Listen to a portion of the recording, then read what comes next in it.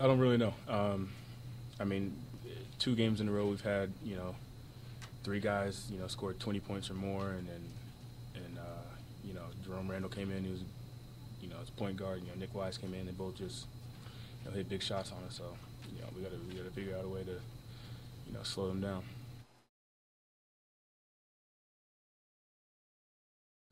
Um, I mean, obviously it hurts. He's he's he's a big part of what we do, but you know we we've got we've got guys that are, are capable of, of stepping up and, and filling you know his role, you know, in, in a sense, and, and doing you know the things that he can do. But I mean, with a guy like Jamelle, he's so much energy and so much, uh, you know, heart. You know, it's hard to replace a guy like that.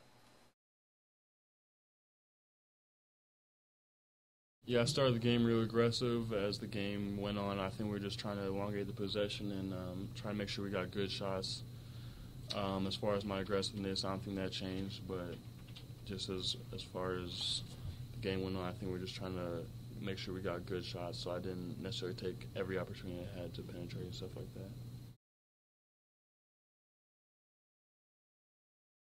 Eric was great for us. You know, he did a good job uh, rebounding and uh, you know finishing around around the basket. You know, it's it's always a lot easier for for a team when you have your inside threat. You know, just you know pounding away down low, and he he did a great job of that uh, for us tonight.